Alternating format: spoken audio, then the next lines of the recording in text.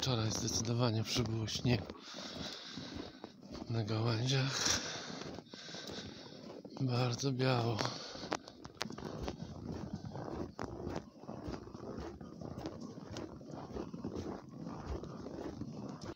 To miejsce, gdzie kończy się bagno. Spojrzenie w strumyk. Ej, nic nie pływa.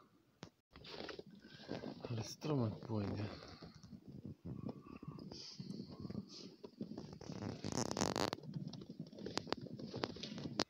Pełna ekspozycja.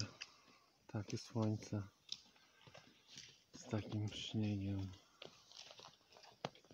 Raz na 10 lat.